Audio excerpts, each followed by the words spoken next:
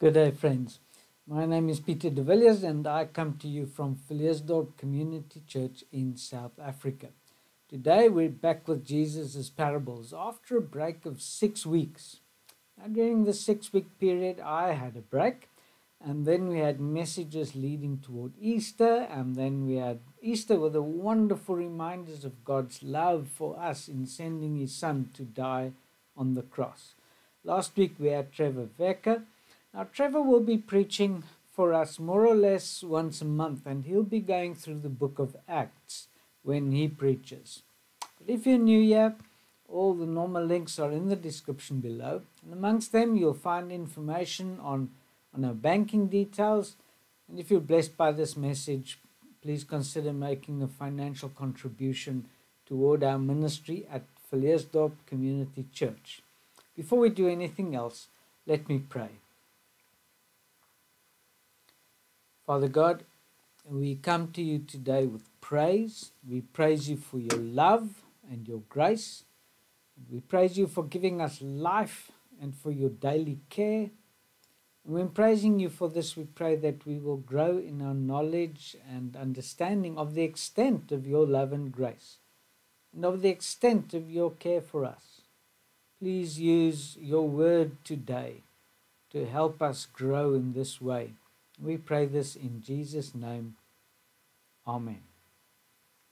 As I said, we're back with Jesus' parables. Now, just to remind you where we are, when we started with Jesus' parables, I mentioned that we can separate the parables into five categories. Namely, here they are again parables of the kingdom, parables of salvation, parables of wisdom and folly, parables of the Christian life, and parables of judgment.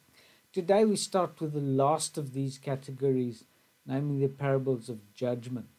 Let me start by reading Matthew 18 from verse 21. Then Peter came to Jesus and asked, Lord, how many times shall I forgive my brother or sister who sins against me? Up to seven times? Jesus answered, I tell you, not seven times, but seventy times seven. Therefore, the kingdom of heaven is like a king who wanted to settle accounts with his servants. As he began the settlement, a man who owed him ten thousand bags of gold was brought to him. Since he was not able to pay, the master ordered that he and his wife and his children and all that he had be sold to repay the debt. At this, the servant fell on his knees before him. Be patient with me, he begged, and I will pay back everything. The servant's master took pity on him, cancelled the debt, and let him go. But when that servant went out, he found one of his fellow servants who owed him a hundred silver coins. He grabbed him and began to choke him.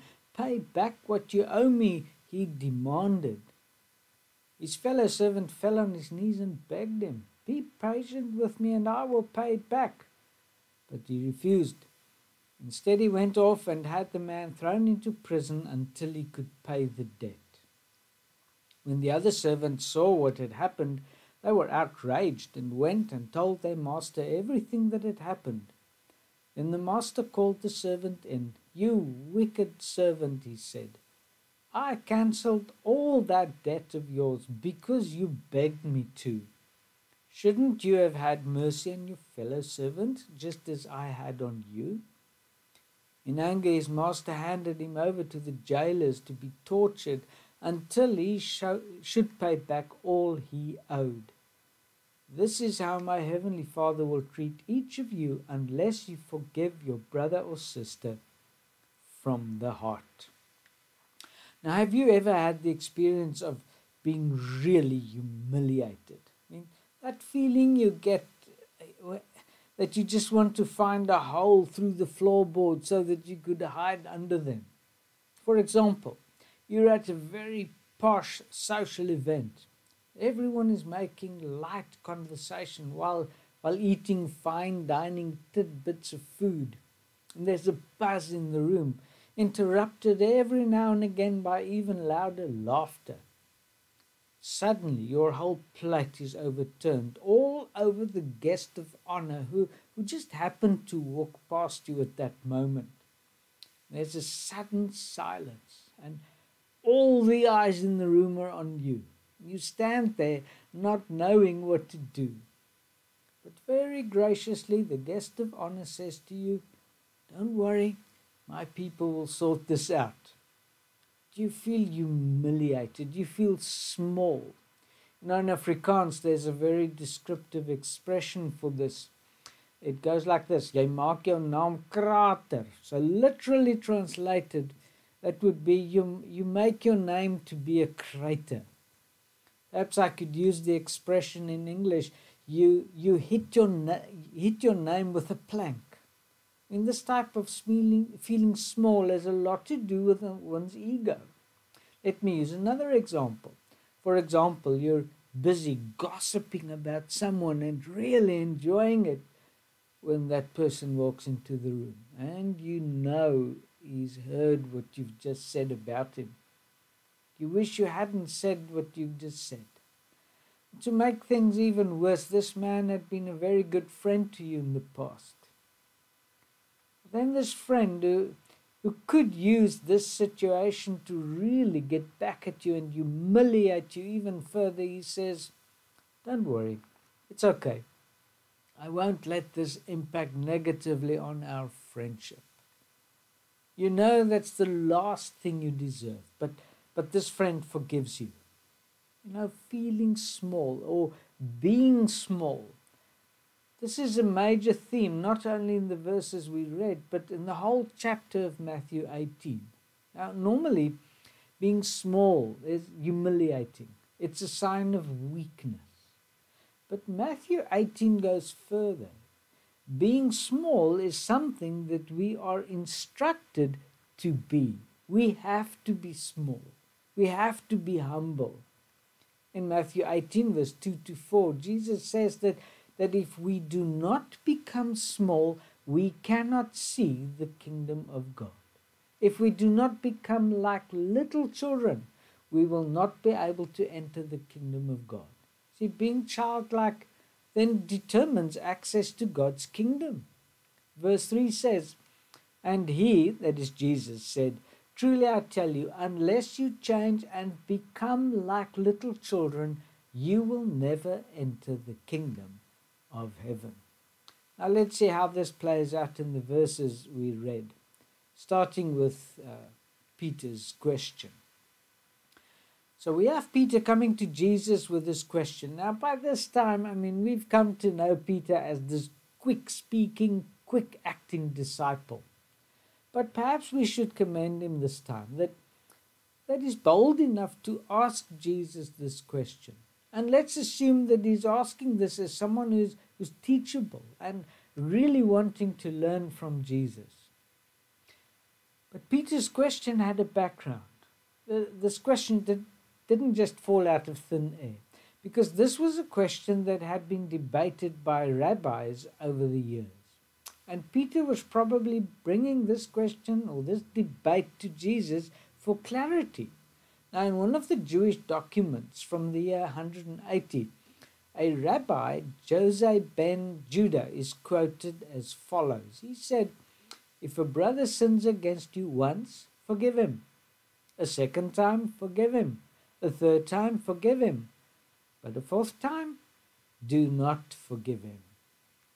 Now, perhaps Peter had assumed that Jesus would take forgiveness a step further than the rabbis had.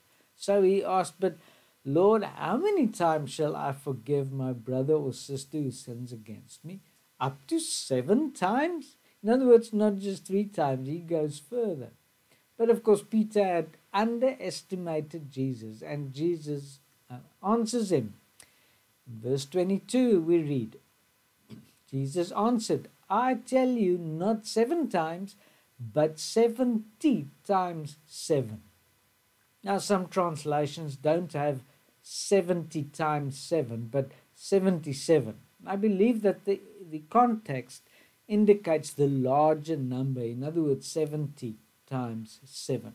This to me is more accurate in that I believe that Jesus is contrasting a very large number with a very small one. And then Jesus illustrates this answer with a parable. Jesus tells the story of a king doing an audit of his books. One of the servants owes him 10,000 bags of gold, a massive debt. So let's call him debtor one. Debtor one is called in, and of course he can't pay this debt. So the king orders that debtor one, together with his wife and children and all his possessions, be sold to repay the debt. Debtor one falls down on his knees and he pleads with the king for patience, promising that he will pay all the debt. Now, of course, the likelihood of this with him being a servant isn't good. So the king has pity on him and does so much more than this man asked for. The king cancels debtor's one, debtor one's debt and he's free to go.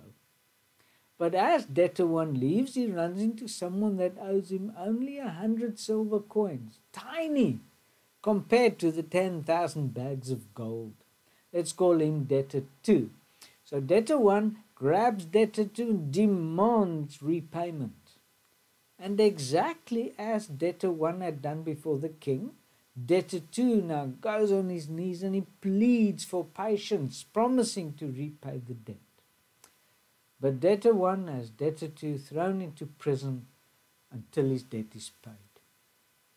And of course, the king comes to hear about this, and and he, debtor one is called in again and is brought before the king. We read in verse 32 You wicked servant, he said, I cancelled all that debt of yours because you begged me to. Shouldn't you have had mercy on your fellow servant just as I had on you? In anger, his master handed him over to the jailers to be tortured until he should pay back all he owed. Now that's where the parable ends, but Jesus then applies this parable in just one verse. And and this, six, this single verse is where it gets complicated. Verse 35. This is how my heavenly Father will treat each of you unless you forgive your brother or sister from your heart. Now, at face value, it seems as if Jesus' application is saying that if we forgive others, God will forgive us. In other words, we have here a works religion. I earn God's forgiveness if I forgive others. Now, I would hope that all of you would, would ask here, but hang on, Aren't we forgiven of our sin and saved by God's grace through faith?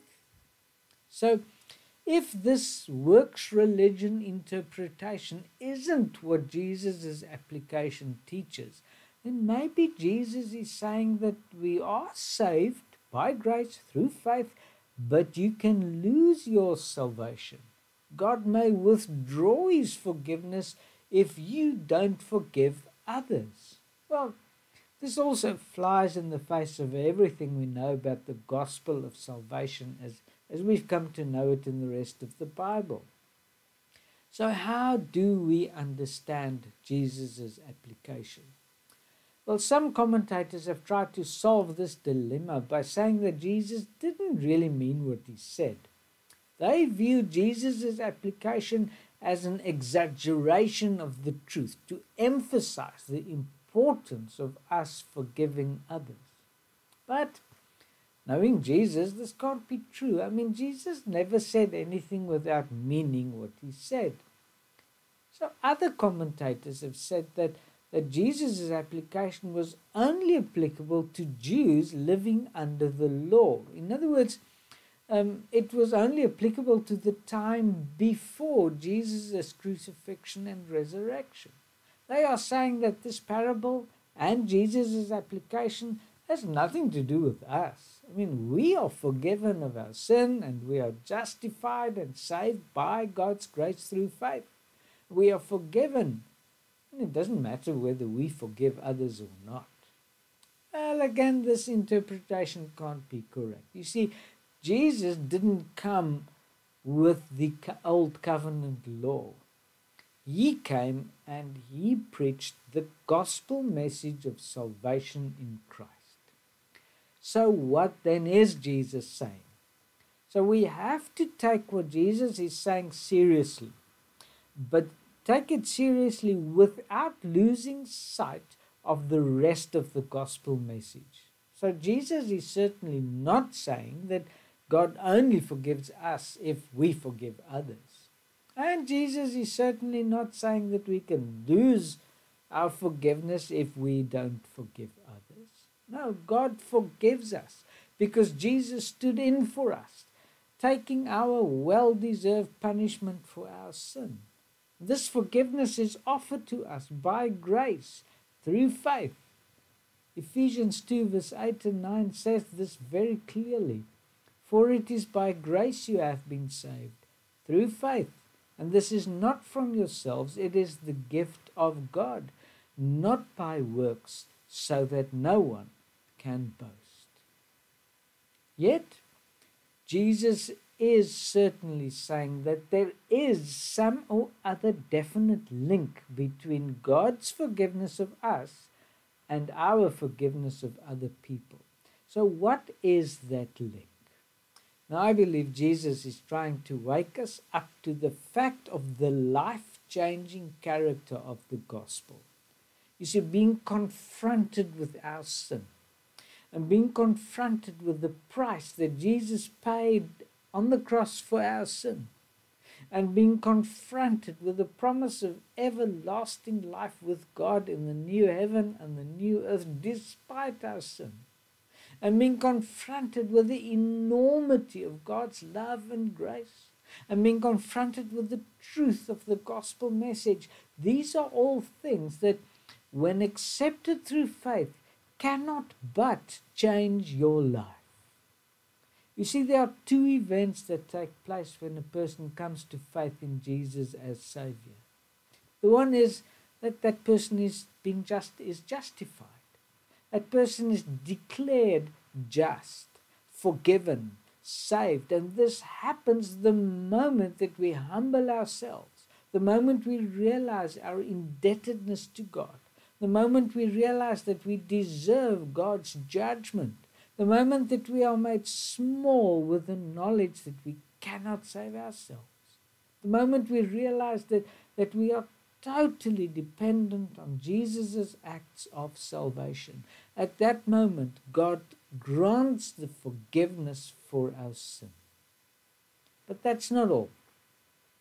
From that moment on, we have what we call the process of sanctification. See, as we grow in knowing God, in knowing His love and His grace. And as we grow in knowing how enormous God's grace is, and as we grow in faith in Jesus, then miraculously, over time and unavoidably, there is a change that takes place. Your life can never be the same. Never again can you live only for yourself because you were bought by the blood of Christ saved from having to face God as judge, but saved into a life lived for God. Saved by being forgiven your enormous debt of sin against God, and saved into a life of forgiving others their, their always smaller debt of sin against you. That is what Jesus is illustrating with this parable. Now, let me conclude by mentioning three points that this parable um, gives us. First of all, the parable teaches us that there is a judgment coming. All of us have an enormous debt toward God because of our sin against Him. And just like the king opened his books to settle accounts, there will be a day of reckoning when God will call everyone to account. And this judgment hangs over every person who has not humbled himself or herself, confessing this debt before God, pleading for forgiveness. And that's the second point um, from the parable. There is forgiveness. And this forgiveness is offered freely by God, and it is based on Jesus' substitutionary death for us. And then, thirdly, the proof of having been convicted of the enormity of our sin and rebellion against God, and the proof of having realized the need for the enormous price that Jesus paid on our behalf on the cross, and the proof of having received by grace through faith the forgiveness from God is a life lived for God. Referring to this, many theologians have been quoted as saying, We are justified by faith alone, but not a faith that is alone. Now, these words are a perfect summary of what the book of James teaches us. Let me read three verses from James. James 2, verse 17 to 19 says, Faith by itself, if it is not accompanied by action, is dead. But someone will say, But you have faith, I have deeds. So show me your faith without deeds, and I will show you my faith by my deeds. You believe there's one God? Good. Even the demons believe that and shudder. When it comes to forgiveness, let us not pretend that it's easy to forgive. You see, it is in our nature to to want to drive home the point that we've been wronged and and we do this by having the perpetrator shown as far and wide as possible as a terrible person. In the parable, that is illustrated by debtor 1 refusing to forgive debtor 2. But let us not forget that forgiving others is proof of realizing the enormity of our greater debt that has been forgiven by God. And this does not mean that every time I struggle to forgive someone, I'm proving that I'm not forgiven by God. See, the challenge is that every time I struggle to forgive, I have to remember that God has forgiven me. I have to remember that Jesus gave his life for for this forgiveness. That, that because of this, I have an eternal future with God. How can I then not forgive? Standing before God very regularly with this knowledge, with this realization of our sin and His grace, this should humble us, make us small every time we come to God in prayer. and it should so humble us that we will grow in a willingness to forgive others. Let me pray. Father God, we come to you again with our massive debt of sin. We pray for your forgiveness. We thank you for your forgiveness. We thank you for your grace and your love. We pray that we will not forget the price that your Son, Jesus Christ, paid so that we can be forgiven by you. Help us to remember this every time we struggle to forgive. Help us to forgive, thereby showing your grace and your love toward others. We pray this in Jesus' name. Amen. Well, it was great to share again um, from God's Word with you. Today's song I want to suggest is the song King of Calvary by Matt Redman. There's a link to it in the description below, and there's an on screen link next to me. Next time, God willing, we'll be looking at another of Jesus' parables. Until then, God bless and goodbye.